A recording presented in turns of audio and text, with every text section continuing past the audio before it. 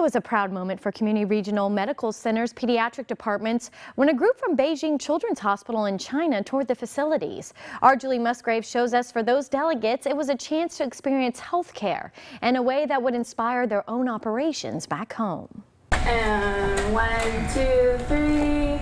This group came a long way.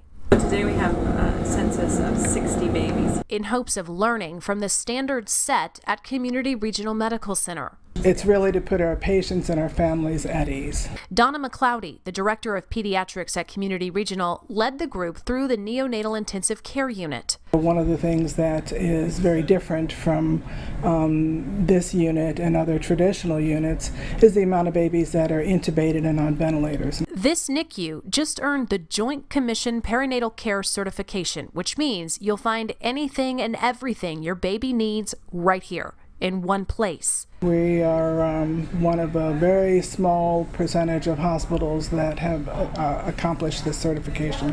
What we have is actually it's working well and other and and, and, and the individuals the, the, doctors from China are realizing hey this is not this is a different type of care. Dr. John Mua is the medical director of Community Regional's Pediatric Specialty Center. He says Community's multidisciplinary approach to patient care was a surprising concept to these delegates. And the approach really is um, it's a process of where you discuss the patients before the patients come in, you see the patients, and then you discuss afterwards about the patients and kind of formulate a plan that day of what uh, how to care for that patient. They're looking at um, not only the care that patient receives in the hospital, but how is it all integrated? What happens when they are discharged? It may be routine here, but this kind of exposure is a reminder that this is where standards are being set on a global scale. We often don't see how, how the great things that we do.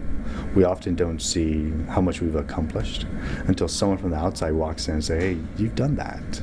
You've done X, Y, and Z, and we're still thinking about it." And, and I think that's something that we should be proud of. We should be really proud of what we've accomplished.